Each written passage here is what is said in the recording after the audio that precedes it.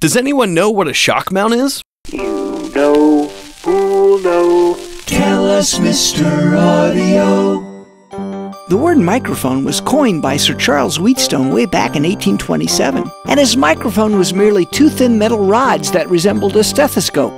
The way it worked was that if you wanted to hear a particular sound, you would place the far end of the rods on the source and put the near ends to your ears.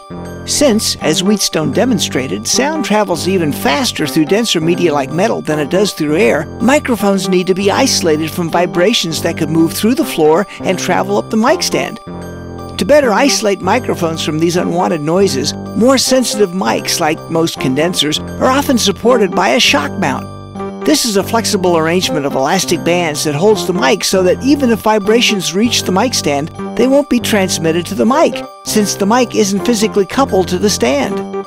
Since most dynamic mics have higher inertia capsules, they are less sensitive to these extraneous vibrations and don't typically require a shock mount.